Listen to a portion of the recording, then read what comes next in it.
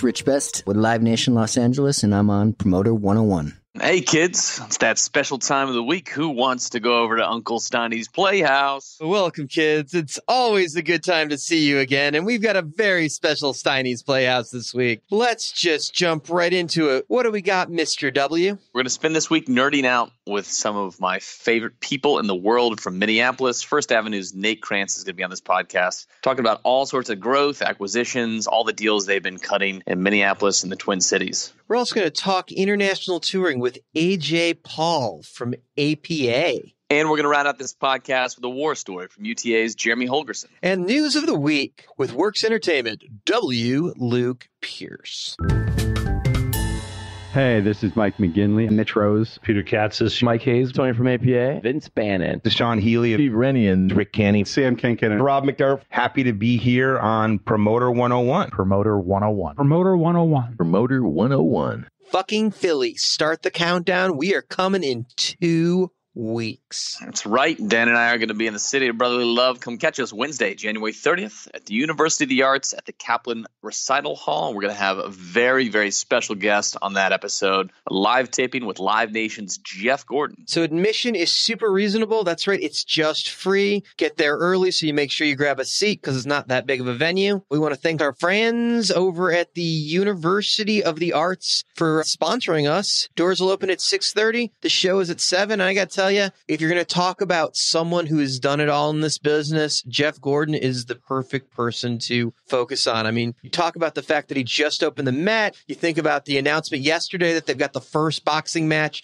returning there since it's come back, but it used to be this legendary place to see fights Philly. So, I mean, just think about Rocky. It's like, holy shit, how cool is that? He's bringing fucking boxing, not just rock and roll to the Met in Philly. How cool, Luke? Dan, I can see it right now. You and Jeff Gordon running up the steps like Rocky in front of the Art Museum. It's going to be a, a wild night in Philly. January 30th, be there. Hope to see you at live taping of Promoter 101. Antics should prevail afterwards. Just hoping. Dan, you can listen to this podcast pretty much anywhere at this point. Yep, buddy, the rumors are true. You can find us on Spotify, and iTunes, iHeart, Spreaker, SoundCloud, Stitcher, YouTube, and Google Music. That's right, Google Music. That's the place to hear us because, um, let's be honest, it's all about Spotify, iTunes, and Spreaker, and SoundCloud. But yeah, Google Music. It's like a thing for no one. Anyway, we're at all those places, Luke. That we are. And so is the conversation, Dan. If you're on social media, come join us. We're talking about all the time on Twitter, Instagram, Instagram stories. Dan is at the Jew. The show is at Promoters 101. That's promoters plural. And I'm at W Luke Pierce. Come check us out. You are at W. Luke Pierce.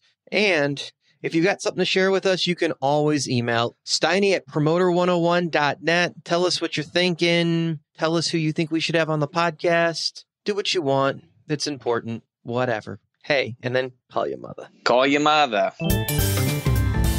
This is Marsha Vlasic, president of AGI Talent Agency on Promoter 101. Have you missed any of the past Promoter 101 episodes? Well, hey, we can help. We have now set up a website that is determined to be there for your needs to find any of the past Promoter 101 episodes and hear them in real time at your beck and call. That's right. Any of the industry special guests that we have had here talking about whatever you want to know are available like the encyclopedia of rock and roll that it has become, Luke. You can find that at promoter101.net. This week, we're featuring episode 72. Dan, it was quite the doozy. If you haven't listened to it, go take a trip back down memory lane. We were joined in that episode with Paradigm's Sam Hunt, talking about working in the business for Tom Windish and the sale of Windish to Paradigm and his current success, still working with Diplo and Run the Jewels. Later on that podcast, we had Jim Cressman, one of Canada's last independent concert promoters left in the game. A phenomenal talent buyer with a lot of great stories. And we rounded out the podcast with Ticketmaster's David Marcus Walking us through what was then the new verified fan. Great insight into a product that has now become commonplace in everyday's lives. You can hear about the origin of all that and so much more. Episode 72 of Promoter 101. Kind of the hat trick for the year. I mean, talk about it. Marcus Cressman and Sam Hunt. It's easy to tell why that was the second most listened to episode of 2018. Murderer's row of content right there, Dan, and a lot of great conversations. Highly suggest you check it out. And when Luke suggests something, people listen. Jim Glancy Bowery presents on Promoter 101.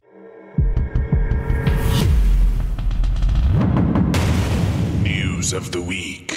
Brothers and sisters of the entertainment industry, it's time for us all to gather as a congregation, put our hands up, and listen for the news of the week delivered to you by brother Luke Pierce. Can I get an amen?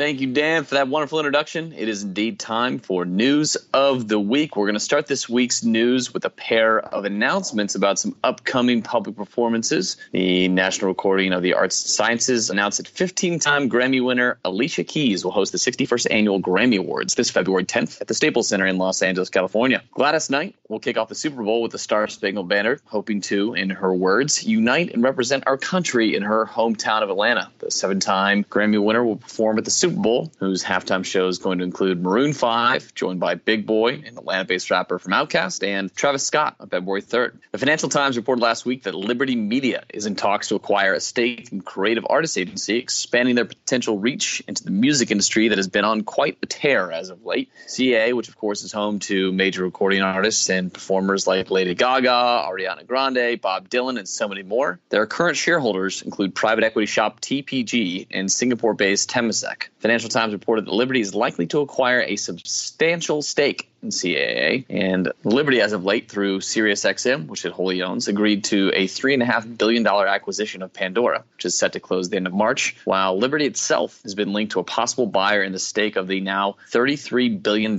valued Universal Music Group. Spotify making some waves in India this week as they entered into a global content deal with T Series, India's largest homegrown record company. With more than 160,000 songs in its catalog, T Series includes some of the most popular Indian music recorded from the past 30 years, and all of it was made available to Spotify users on January 14th when the deal was announced. According to Music Business News, T Series is the biggest record label in terms of local market share in India, giving Spotify a much needed foothold in a longly contested marketplace. Stay tuned for more information. And that'll do for News of the Week.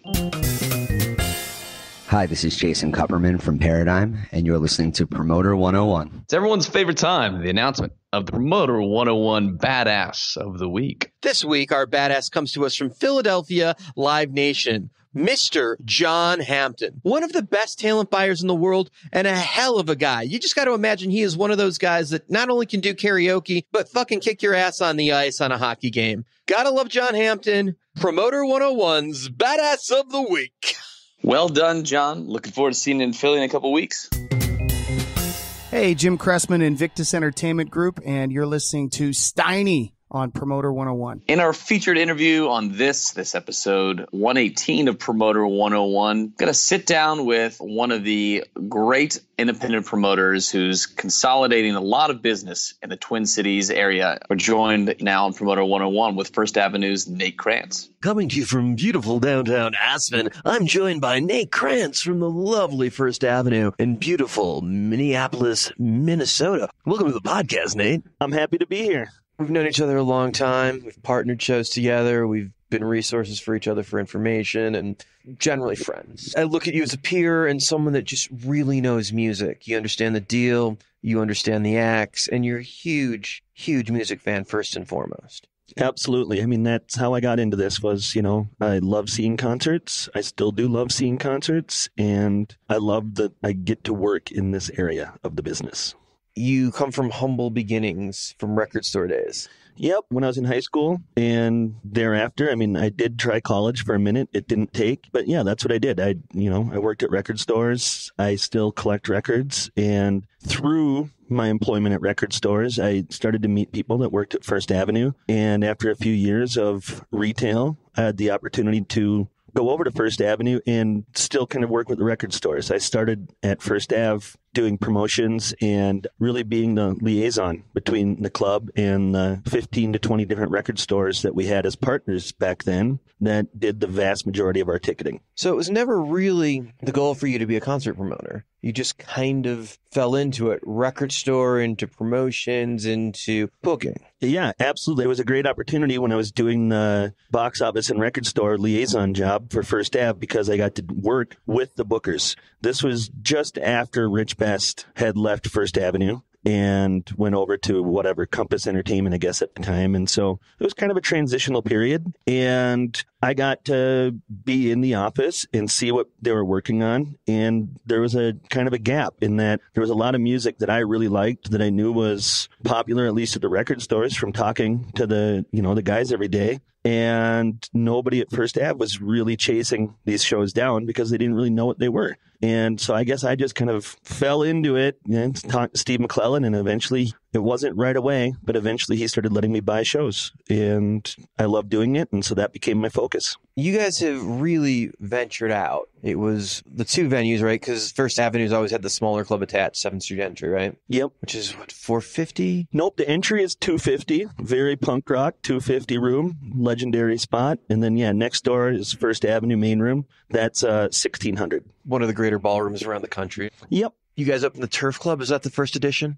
Yep, the first edition as far as a venue is the Turf Club, and that's what 350 is that right? Yep, that's a 350, and that was a real natural step for us because I had actually been doing concerts at the Turf going back to 1999, so we knew the room really well, and we were probably putting in just as rental clients, you know, 50, 60, 70 shows a year. And so when we had the opportunity to buy it from the former owner, it just made a ton of sense. We loved the room. We knew it was like the other real cool small room in town. And so it was just a fantastic opportunity and it's worked out great for us. Okay, so some booking synergies and it also give you the opportunity of going through a buy. Yes. So in a fairly small venue, but the same process for buying a company exists regardless how big or small. It's just how much more accounting is involved. Absolutely. Every deal we've done since then has been very similar to how that one played out, including how we've went about financing the projects and taking over operations and figuring out the best way to do those transitions.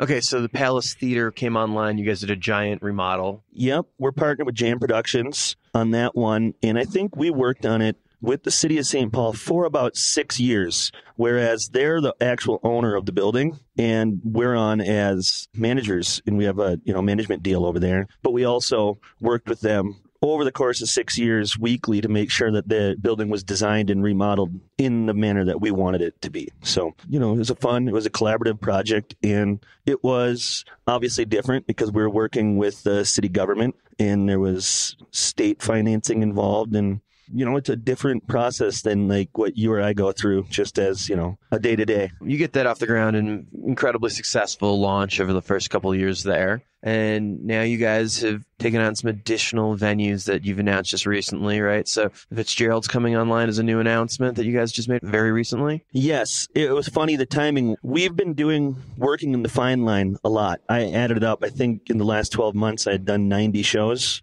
in the fine line, just renting it out. And so earlier this summer, the owners of the Fine Line just approached us. They had gotten rid of all their clubs and moved into the private event business. So the Fine Line was kind of an odd duck in their business, and they approached us and asked if we wanted to buy it. Once again, it was real natural fit for our business. It's right down the street from First Avenue. It's got a great capacity at 650, so it's a nice kind of transitional room from the smaller up into the First Avenue size gigs. And we were already staffing it. Like when when I did shows over there, I was already providing the box office person, the, the, front door person. I was using my production staff over there, and we were the only people booking touring shows. So we took it on. We, you know, it was really easy to figure out a fair price, and that was a real easy transition for that one. We were also, as you mentioned, taking over or buying the Fitzgerald Theater. And that was an opportunity that came to us about a year ago. Minnesota Public Radio reached out and asked if we'd be interested in that is obviously a you know it's a thousand cap fully seated theater. So it is kind of an anomaly with the rest of our venues. And you know it will be a little bit more of a challenge but we're really excited about taking it on. It's beautiful you know historic 100 year old theater. We've had a lot of luck. We've just started announcing the shows that we've booked since we announced that we were buying the place and there's a lot of excitement so. You do shows outside of your venues as well. You use Rick Hansen's rooms at the Trust, and the Orpheum, the Pantages, the State. You do the arena as well. You've gotten a chance to promote Adele. And then you go into some other markets with some of the bigger acts that you work with throughout the region. You'll go in Duluth a couple times a year with an atmosphere or trampled by turtles or what have you. Yep, you know, like what I call like our good buddies. So, you know, like the atmospheres or Hippo Campus or Trampled by Turtles. We'll take them and, you know, do a show in Rochester or do a show in Duluth or whatever it is. We have fun doing those. But yeah, like you said, we also go into most all of the other rooms in the Twin Cities. And it's just more of finding what's the right fit for which artist at any given moment. So, you know, we got involved with Jack White or Beck at the Armory recently. We also do the outdoor series with Andy Searson and Jam. We do the Surly Brewing Festival Field series every summer, which has been growing each year that we've done. And I think this will be our fourth year. Probably be up to maybe eight to 10 shows. And you guys are also doing the outdoor shows at the Cabooze, right? With Rose. Yep. And we also partner with Gene and, and Rand and do the outdoor series at the Cabooze, which we've been doing for a really long time now. That's just incredible. Like the growth is insane. How many shows a year are you guys doing now? I think around 1,100. So it's a lot of click, copy, repeat because it's a very similar process on any show, right? You build the offer, you confirm it, you do the insurance or whatever. It's like I'm sure you got yearly policies on your venues, but you lock in your production team, you lock in your marketing, you've set up ticketing, you do the catering, you deal with advance, you load in, you load out, you settle.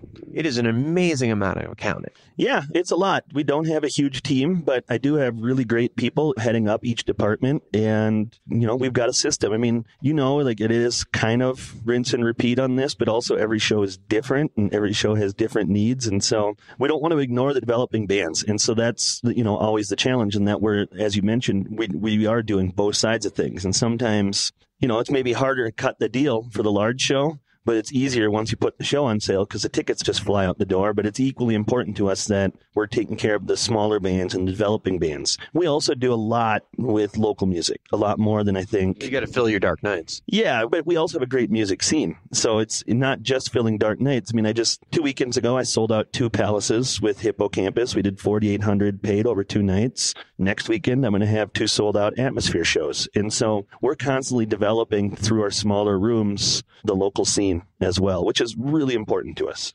1,100 shows, that's a lot of cash flying through your venues. We pay bands a lot of money every year. I know the business, as do you. Not all shows make money. Yep. I know your batting percentage is high. Probably, what, 85% or greater of, of wins, right? Give or take? You know, I don't even look at it that way. I do pay attention to like what our percentage is of shows overall. But right, but not every show makes money, right? Absolutely. And some maybe three or four percent lose significant money because you're just going to guess wrong sometimes. So it's not a given. Although the business in general is successful, but that's a lot of volume in cash flow that's going to the artists. You have a huge overhead between staffing all of these venues, and now you're buying these venues, which requires a massive amount of capital, particularly when you're renovating places. That's all outlay. So you guys are putting out an amazing amount of finances. I imagine that's got to be a huge strain on the system with the amount of growth that you guys have had in such a short time.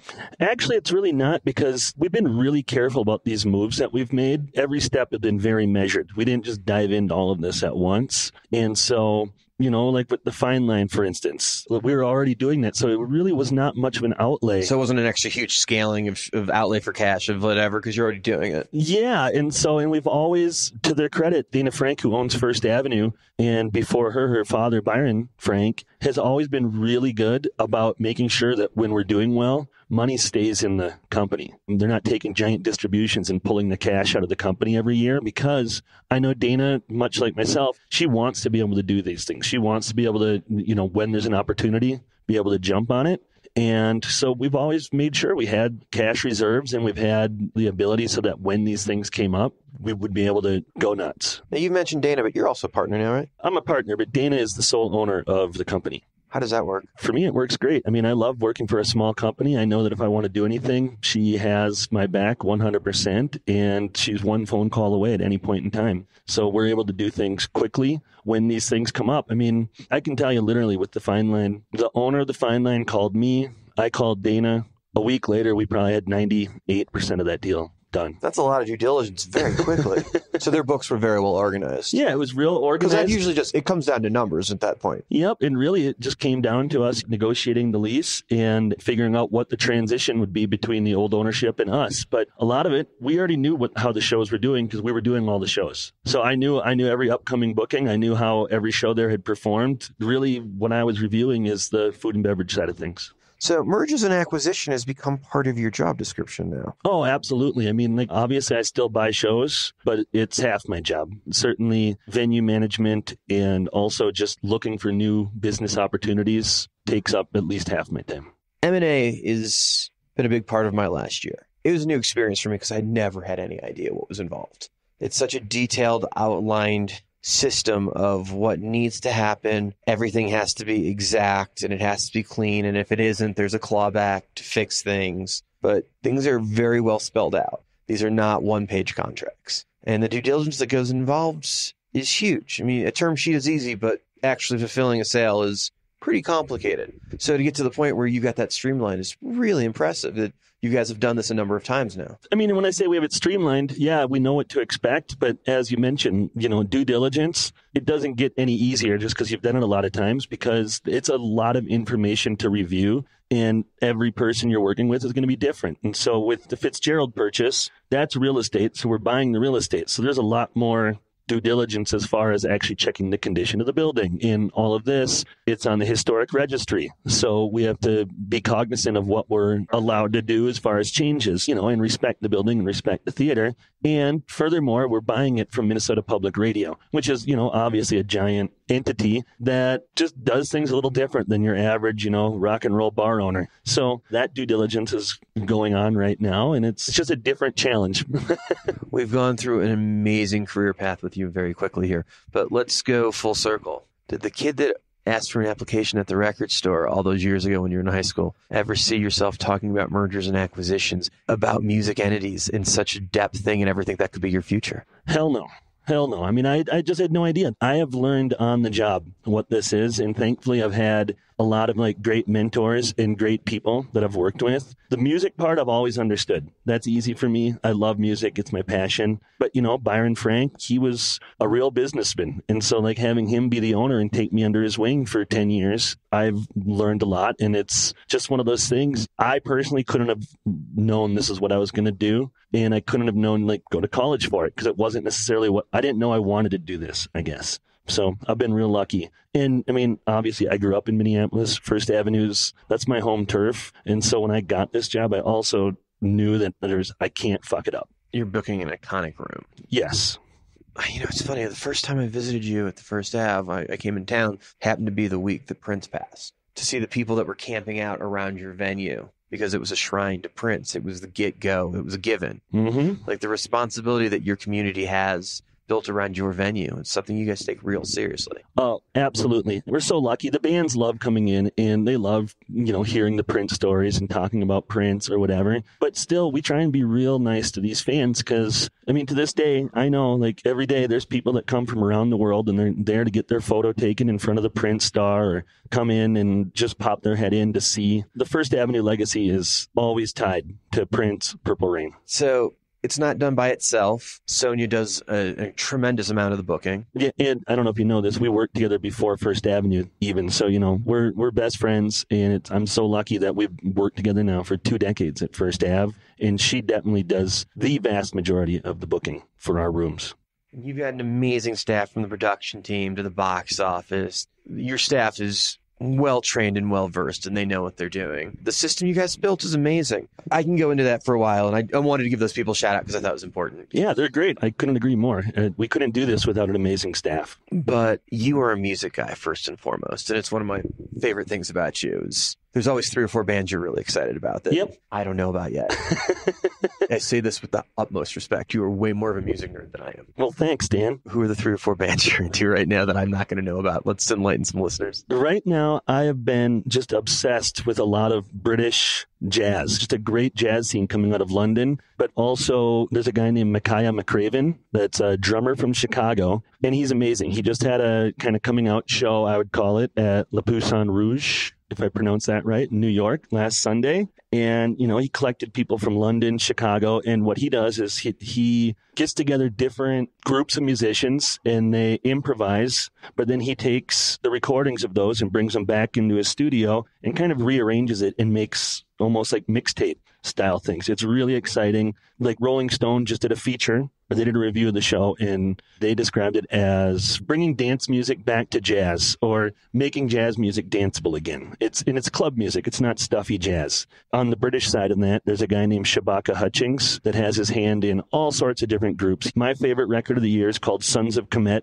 They toured smaller rooms. I wasn't able to get them to Minneapolis, but now he has another group that is touring this spring called The Comet is Coming, which is real awesome. It's like a mix of electronic and jazz. And this is really what I've been listening to nonstop lately. Nate, thank you so much for taking time and talking to us. Thanks, Dan. The First Avenue team is just buying every venue and building in the land of the thousand lakes, greater metropolitan area, growing like mad, and we love them dearly. What a great team. Nate leading with Dana and Sonia. Just great people, great business going on. Thank you so much for coming on the podcast. Hey, we're home free. And we're on Promoter 101. Tweet. Tweets of the week. You know, Dan, I heard there was a petition to rename this section of the podcast to Steiny's Wisdom Hour, but for this week, we're just going to keep calling it Tweets of the Week. Start here, Dan. No one thinks their band sucks. But it's better that they don't learn that they do from you. Truth in that, Luke. How about that odd moment when you're offered a legendary act that no longer draws? But they still want real money every time. This one is pretty good, Dan. I understand it well. The great thing about promoting a cappella groups is no backline gear. Ever. But sometimes they still show up with semi trucks full of production. That'll do it for Promoter 101 tweets of the week. You can follow Dan on Twitter. He's at the Jew. I'm at the Jew. Call you mama. Hey, everybody. It's Jesse Lundy from Point Entertainment here in Philadelphia, and I'm on Promoter 101. We'll take a break in between two of our featured interview this week and hear a war story from UTA's Jeremy Holgersen. Jeremy Holgersen, we've got a war story. Yeah, so the Pogues first started touring. A lot of people were weary because all the Shane MacGowan stories when Shane toured solo, and there was promoters that didn't want to book the Pogues at first. The first time we brought him over, Mark Schulman actually luckily believed in it, and we did four nights at the Best Buy that sold out like right away and set a record until I think Phil Lesh played like six or seven nights later on. But you know, the Shane MacGowan stories precede anything Pogues related. And Pogues was always spot on, had great tour manager out there, great manager, had it down to a science so that it worked. Like we'd sit in a city for two or three days, take a day off, get to the next city so Shane could get there. Feels weird to talk Pogues without pints. Yeah.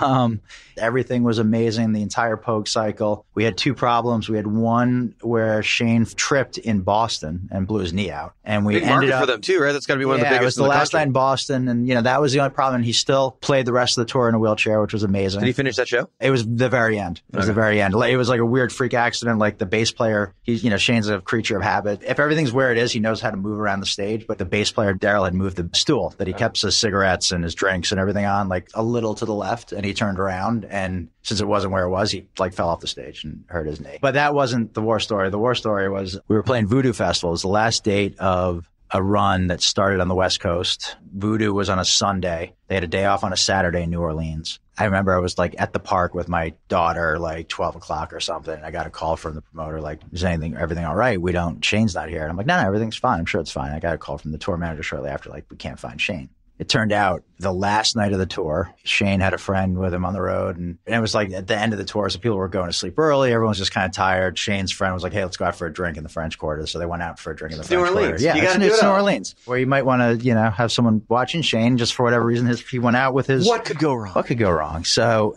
I guess like they were in the hotel lobby and the tour manager was like, where's Shane? To his friend. He's like, oh, I left him in the bar. I went home early. I was really tired and I went home and left him at the bar. And he's like, you know, when you're on the road as a touring band, you a lot of times don't know where you're staying. You need your key card. Like, you know, even if you're anyone in, in on the road. So he left him at the bar and Shane didn't know where you're staying. You know, you're on tour, you're being led around, you're going tour to tour, Especially you're, you're- you're, you're you're the guy, self-contained. you're the lead singer, So all of a sudden he's in a bar on his own. I guess, you know, he didn't know where the what the hotel was, where they were staying, didn't have his key card or whatever. And it's New Orleans, the bars don't close, so everyone's looking for Shane. No one knows where he is. Show's about to start. I'm getting calls from the promoter, from Ray Hodge and and Ashley at, at Voodoo, like you know where's Shane? Like, and I'm tour manager's like, we're trying to find him. Don't worry, and we're stalling, trying to figure this out. And then uh, they had to go on. I guess they started the show because yeah, they had to. I mean, it was you know it's a festival and showtime. And can you do a Pogue show without Shane MacGowan? Well, I mean, Spider filled in, you know, when Shane wasn't in the group for a little while, so it started out, and then I guess he somehow through the night asked his way. He'd been up all night, I guess, asked his way around or figured out how to get to the Voodoo Festival or where the park was. Talked his way in the door. I guess you know, second song in, Shane's kind of approaching the stage. Finishes the show. Wasn't the best show, as you can imagine, if he was up all night pulled it off. But it was, you know, a lot of phone calls, a lot of screaming, a lot of like, oh no, don't worry, Shane's on his way. A lot of figuring it out, calling the tour manager, where is he? Yeah, you still don't know where he is. Okay, okay, I'll call you back. I'm, I'm stalling on the other line, and yeah. If you're the audience and you do the first song and a half without Shane, and he comes out for the song three, you're just like, holy shit, Shane MacGowan walking through the audience, and where the fuck is he? Like, Yeah, how cool? He like, had the to talk. I that think he like talked really his cool. way in through security, and you can imagine Shane trying to yeah, talk his way. To, if you don't know who Shane MacGowan is, you're kind of like, who is this guy? Right. Will there be more Pogues tours? Are they going to continue to work? I don't know. You know, every couple of years we talk about like a Ride Fest or doing one final show. The last tour they did, they called it the Parting Glass, which in Ireland is like the last call, but it's like not saying last call. It's like the parting glass is the last drink. It's kind of like saying see you later rather than goodbye. Yeah, I think they want to do like one final New York show. We've been trying to, and you know, hopefully we'll see. I don't know. It's up to Shane. forward to that one. Thank you so much, Jeremy. Can you ask for more than a Pogue story running around New Orleans like that? Shane MacGowan, Jeremy Holgersen just brings it with that war story. Nail biter, and it just true Pogues punk rock form to show up mid show and fucking pull it off at the end of the day. But I think the lesson is you never leave Shane MacGowan alone in New Orleans by himself drinking. Never. Jim Runge, tour manager for Imagine Dragons, and we're on Promoter 101. And rounding out our featured interviews this week, we're joined next with international touring expert from the Agency for the Performing Arts, Mr. AJ Paul. Hanging out with AJ Paul in beautiful Beverly Hills, California. At the montage. Dude, I get to hang out with you with some of the coolest places in the world, but now we're in your city. Last time I think was London. Yeah, it was London. I think it was ILMC. Always oh, a good time. Oh, yeah. You focus on the international business, but you do it from here from the States. So it's a little more challenging because you've got a massive time change that you have to deal with from LA. Just shit, London's what, eight, nine hours, depending on the time of year. Yeah, it's more challenging in regards to that, but you know, a lot of the managers and artists that we work with are on this time zone, so I think it makes it easier for them. I didn't realize that. So it's only Yeah. the clients that, or it's only the venues that are buying the shows or the talent buyers. That for are, the are- most part, yeah. Oh, okay. So for them, it's a lot more seamless instead of having to wait for like their agent in London to wake up, or you know, for them to get on the same time zone. APA doesn't have a an office overseas, if I remember. we do have an office in London, in Soho. Is that a new thing? No, it's primarily focused on physical production. So there's no music agents that are necessarily based there right now. But when you're there, you have a place to work. Correct. Oh, And we're over there frequently. Right, because you're constantly covering dates. Correct. So do you represent many international artists over there? Because it seems like that'd be hard to scout talent in Um, a place where there's so many other agents. There, there are a few that we do. Uh, there's one band, Kensington, that's based in Holland, who's massive there. You know, really breaking out into other markets in Europe, which we don't represent them here, but we do represent them in the United States. You know, we're waiting for the timing to be right for them to come over here. And also, we're focusing, you know, a lot of our efforts on finding talent in like Southeast Asia, Korea, and China, which is a new thing that we've been trying to get our hands on. Booking internationally from the States is a challenge because you don't bump into your buyers randomly. No. Passing no. in an airport or something. It's like a lot less interaction unless you physically No, get on a plane and go to Germany or get, something. You get on the phone and then you get on the plane. I mean, that's for the most part the only way to get it done. So there's a lot of times where I'll be working from like 11 p.m. till 7 a.m. And that's really the only way to make a relationship with them is to get on the phone or to get on a plane. You're not the only agency that does this. ICM does works similar. Scott Mantell books from LA Mhm. here, and they Yeah. definitely do the same kind of thing. So it's not unheard of, but it certainly is got its own hurdles and challenges. But you It- guys do a crushing amount of business overseas. It- yeah, no, I mean, it definitely has its hurdles and challenges. As you said, you know, I spend a lot of time on the road. So I spend two weeks, probably a month, either, you know, in Europe or Australia or Asia or the Middle East or wherever it might be. Because in order to do our job, like we have to see the venues, we have to get like a vibe for like exactly what's going on on the ground in each of these markets. So no, you can't do it just solely by like working from an office in LA. But like I said, you know, get on a plane and go see the markets, you know, get a feel for the culture, get a feel for the people. And that's the really the only way that you can do it and try to make partnerships with the right promoters in these countries that you trust, you know, and they trust you. So you're really developing the artist in the right way. This is a very cool thing. You take a client overseas, you introduce them to new revenue streams that maybe they're not seeing because with what Spotify and YouTube and the internet in general has opened the world to, or all these artists or all these other emerging markets that radio used to have to be serviced and get the ad back in the day. So maybe your act isn't being serviced in Holland to radio because the label doesn't have the budget for that. Right. So they never really developed there. But now it could just break on Spotify and the algorithm could really be pushing that out to a lot of people. And yeah. suddenly you're huge in Holland. And the beauty of it is that with these different services, you can see the analytics and get the data so you can really kind of see where your artist is getting traction. For the most part, I find that it's not like a specific country where an artist breaks, but more or less like a region or a group of countries. Like I have some artists that I work on that are right now like blowing up in Scandinavia and then I have other artists that are in the same genre that are like mostly like, you know, mainland Europe and the UK. Who's blowing up in Scandinavia? Lots of people. Name drop, buddy. Name drop. Uh, like right now, we have an artist by the name of Lil Mosey that I work on with Jordan Stone. Little Mosey? Lil Mosey. Hip hop? It's good hip hop. You guys represent 50 Cent, right? Yeah. 50 is definitely like a legend. So you work in a hallway with a lot of big personalities. Oh, yeah. Andy Somers is down the hall from you. Mhm. Craig Newman is there. Bruce Solar. Josh Humiston. As you just continue to go down the line, younger guys coming up like Aaron Dixon, Mm-hmm. Max Gold. Like there's some cool vibe. Jamie Kelso. Yeah. All running down the L of the music agents that you happen to have your desk plopped right in the middle of. It's Yeah. like that's a lot of resources that you get to tap into every day. It's, it's fantastic. And what I like about it is there's not like one cookie cutter agent or personality at our company. So you can kind of pick up things that you like and pick up things that you don't like. And you're not walking down five guys like wearing a sport coat and, you know, a button down t shirt and jeans. Like you get different personalities and different skill sets from each person. Now, I believe you share a wall with Guy Richards. I do. Okay, He's a so- machine. He's the best. by the book, and I've said this on the podcast before, I think by the book, he is the most technically proficient agent in the One world. hundred percent. Just being able to overhear things, just being that close, and like the in passing, the wisdom that you must pick up. Yeah, no, he's a machine. He's he's got his methods down, and nothing slows him down. And he's probably one of the only agents that I'll see in on Sunday. You come in on Sunday. That's Yeah, sometimes. Is that because the time change and you're, you're Yeah, or just if like say I'm working like an all nighter from like Thursday into Friday morning, I might not come in on Friday because I was up the night before, and then I'll come in on Sunday to catch up. So to find the buyers, you'll work different hours sometimes. Oh, absolutely, have to. Yeah, and then if I come in on Sunday, then I get Australia and Asia when it's their Monday.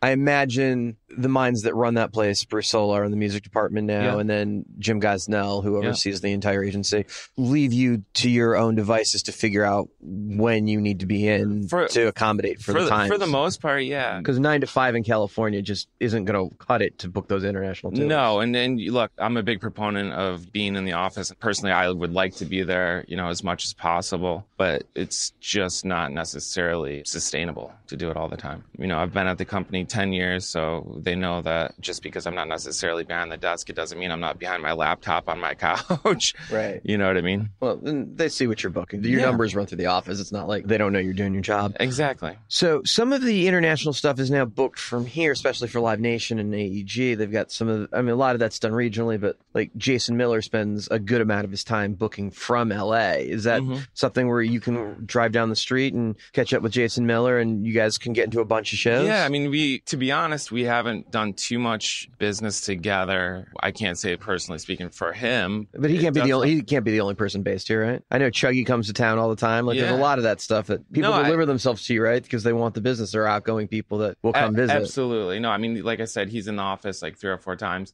But Southeast Asia, China, it's a different animal, and there's very specific acts that will work there and that won't. I know Steve Strange works from here half the year too in Mhm. LA. So the Yeah. idea that the managers are here and Coachella is here, and it's just like so he has a house here because he can get twice as much coverage between here and working from London, and Yeah. he goes back. He takes advantage of both, but there's a ton of business that can yeah, be done there's here. there's certain seasons, you know what I mean? Like right now, between like right after summer through the end of the year, it's like all hands on deck to be booking festivals for next year. So like for me, this is probably one of the busiest times of the year, and so either I'll be working like 11 p.m. to 4 a.m. and then, or I'll be over in Europe. You guys book Skillet for the world, right? Yes. So they just announced a big Russia tour, right? Yeah. So when you announce, I think Serge is doing that, right? So it's yeah, like, Sergey's doing it. yeah. So when you announce, We just had a baby. Yeah, he's great. We love him. That's the genius of ILMC, by the way. Mm. If you've never had the experience of meeting the guys that book all over the world, you get to hear different stories. And Sergey has to worry about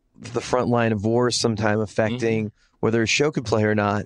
And some of these guys have different issues that they worry about that we never ever think about.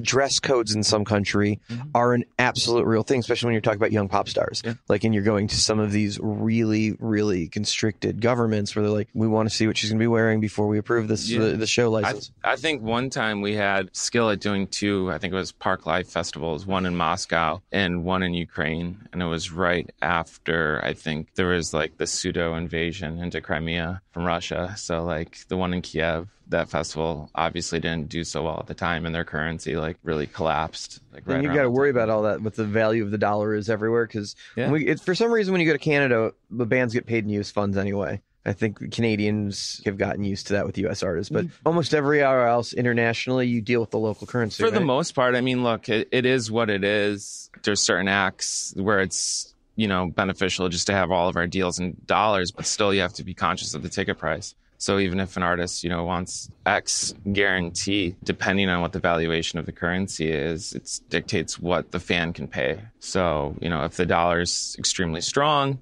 Is that how you choose markets sometimes where you're routing based on what the value of their dollar is? no, I mean, uh, you know, ideally we choose markets on where we have the strongest demand for our fans. But like a lot of markets where there's a strong demand, you know, South and Latin America, their currency compared to the dollar is extremely weak and getting there between freight, flights, visas and all that stuff is, uh, you know, expensive. So although you might have a lot of fans in these certain countries, on the artist side, they just might not be able to actually do it because Hmm. the, their costs are, you know, X and, you know, the ticket price doesn't equate to that. So if a band is successful in America, let's say Josh Humiston is booking the next hot rock band that's coming out, not put a name to it for the Right. moment, but Josh is really good at discovering new talent and building acts and breaking acts. Josh Right. has had a very successful career over the last 30 years doing Mhm. that. So he wants, his manager wants to kick that up internationally, and Josh walks down the hallway and says to you, This is an act that has done very well for us, and they're interested in having an international presence now. They've Yeah. noticed their numbers internationally have really kind of spiked. Where do you start? I pick up the phone and I start calling my promoters. In most countries, I have like a handful of guys and women that I really trust. And usually, before it gets to that point, I'm already kind of like teasing them with stuff that I think might have legs over there. So I start with that and I have the conversation. The only way to really kind of break a band is you got to have partners in these countries that are passionate and that can really move the needle, whether it's on the label side. They can call up the, you know, the label rep or you know they can push radio or like get it on the festivals that are necessary but festivals would be the first entry into a market for an artist that it's not necessarily proven in ticket sales So when you're dealing with some of these other countries, you're obviously not going to go there and sue most of these people. So the contract and the deposit are a huge thing. And yeah, I get if they fuck your act, you will go sue them. But the deposit's really paramount, right? yeah i mean look it's paramount in anything i mean one of our main jobs is to make sure that the artist is you know financially taken care of but like Right. But if I'm down the street and somehow we don't get a deposit in on one of our dates with APA, one of the 250 shows we do a year, nobody's sweating it. They know the band's going to get paid just based on the volume of relationships. But we have we're different down the street. we have different recourses Right. you know what i mean? And that's and that's kind of why i like the international aspect of it because it's still a little bit of the wild wild west you know what i mean? It's not one stop shopping. You go to like one promoter and you know every deposits are going to be paid. It's still a little bit of the old school mentality where you know you have to be really hands on and you have to choose the right person and really like monitor to make sure that it's being done the right way. And it's a little bit more difficult but that difference and that challenge is to me what makes it more exciting than just doing domestic touring So, AJ, I know you as someone with a very big personality. me no Yeah, we've known each other for a long time, and I enjoy you more than most. Not more than most people enjoy you. I enjoy you more than I enjoy most people. I find you to be very personal. But in the business of dealing with different international personalities, different mm-hmm. cultures have different acceptabilities of behavior. Yeah. Do you have to monitor who you are representing yourself as when you're on the phone? Whereas you can joke around pretty liberally with me, and then some of these international buyers, based on where they live, some things are a little bit more constructive and Yeah, definitely. I find that it's still the music business, so people tend to be like a little bit more accepting of different personalities across the line. But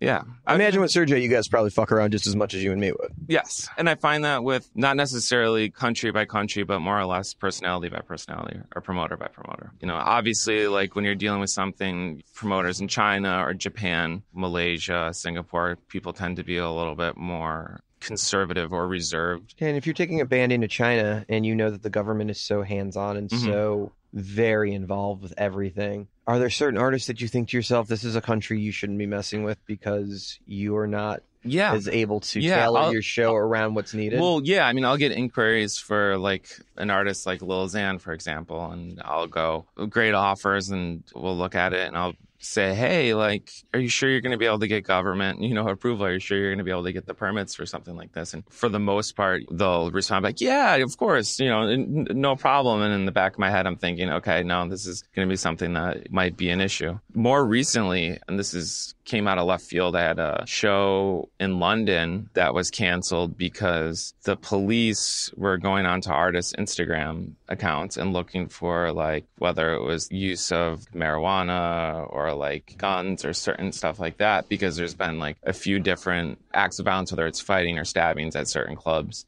in London. So, so the police aren't just randomly cracking the whip; they're trying to avoid bad stuff happening. yeah, but it seems to be, for lack of a better word, it seems to be more like culturally profiled. You know what I mean? Their heart's in the right place, but they're doing it the wrong way. Yeah, I mean they're they're specifically going after like rap shows or hip hop shows. So I know that's been a big problem, and I think our show was one of the first international acts that was actually canceled. And for when you're sending an artist from you know the U.S. overseas, and you only have a handful of dates that you're looking to do, taking one out of the equation is a massive problem. They canceled it like 24 hours before. You know they threatened to withdraw the permit from the club. That'll really screw up your week, especially when you're counting on that money. Oh yeah, especially when the artist is already there. So before I let you go, do you have any advice for the young agents coming up behind you that are looking to get into the international game?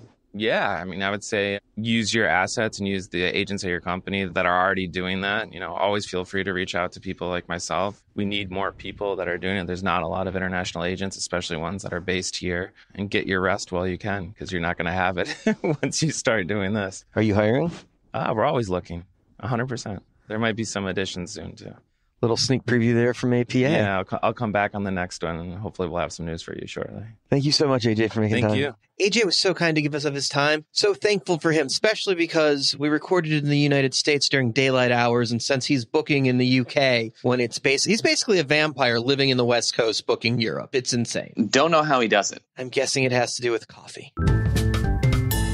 I'm Jason Miller. I'm the president of Live Nation New York, live and direct on Promoter 101. Well, there's no better way, Dan, to wrap up a podcast or to name drop than announce the birthdays for this coming week, January 18th to the 24th, 2019. Friday, January 18th goes out to Portland, Oregon's own King of Christian Concerts, Lowell McGregor. On Saturday, the 19th, we're wishing a happy birthday to Zach Winston, Baron Ruth. Sunday, Sunday, Sunday. We'll sell you the whole seat, but you'll only need to have a birthday. Mark Bauer, Brian Aspalt, and CAA's own, the legendary Robert Light. But you might know him as Rob, Luke. On Monday, the 21st, wishing a happy birthday to Tom Taylor. Tuesday, 122, Cena, Clover, and Aaron Palmer. On Wednesday, the 23rd, wishing a happy birthday to Kathy Felling. Thursday, the 24th, Bill Young Productions' own Sid Farbstein. He looks great, by the way. Lost a ton of weight, looking super healthy and fit. A happy birthday to everybody from the gang here at Promoter 101. You know, you gotta wonder when you look at Sid, every time you see him post something on social media, it's him cooking brisket or making something amazingly delicious. And how he's losing the weight must mean he found a diet that includes eating brisket. I mean, that's a pretty good diet, Dan. I wanna get on the all brisket diet. If that is a diet out there somewhere in the world, somebody from Austin, Texas, please email us. Well, let's hit up Sid and see if we can get him to do a diet section on the podcast about how to eat brisket and lose weight simultaneously. Because holy shit, he looks great.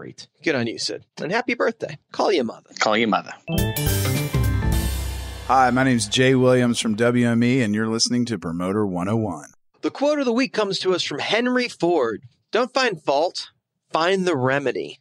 Clearly a Jason Mraz fan there, Luke. It's true. Mraz was very before his time. That'll do it. Episode 118 of Promoter 101 in the books. Thank you all for tuning into this podcast. And a very special thanks to all of our guests this week from First Avenue in Minneapolis, Nate Kranz, from APA, AJ Paul, and UTA, Jeremy's Holgersen. Thank you all for coming on here. And if you're not already, take two seconds, drop us a line. Let us know what you think of this. Drop us a review if you care to, and make sure you subscribe to this podcast wherever you listen to podcasts. You can hit us up at steiny at promoter101.net. Next week, we'll be back with CEO of Tour Design, Deborah Ferguson, but you might know her as Fergie. Fergie Ferg back in the pod. Looking forward to that. We're also going to be joined by the general manager of UC Theater, Matt Smitty Smith, stopping by for a chat. Apparently, it's middle name, nickname kind of week on Promoter 101 next week. William Lucas Pierce, Matt Smitty Smith, and Deborah Fergie Ferg. And we'll have to roll out the Daniel Cash Steinberg next week, apparently. And then we'll have a war story from City Wineries, Shlomo Lipetz. I wonder what his middle name is, Luke. Don't know. It's got to be something cool in Hebrew. I mean, if you're starting with Shlomo, it would be a letdown to be like Sheldon after that. It's got to be something awesome. We'll have to ask him next time he comes on the podcast. But an Israeli baseball player that is now running City Wineries booking for, well, most of the U.S. is pretty impressive. I can't wait to hear that story. But his war story and his interview are coming up in the weeks to come. That'll be great. In between now and then, we're wishing you all sold out shows for the weeks to come. Cheers. Call your mother. Call your mother. Text your father. Lucy Lawler Freese, Rival Entertainment and the Fox Theater in Atlanta, Georgia, and I'm on Promoter 101.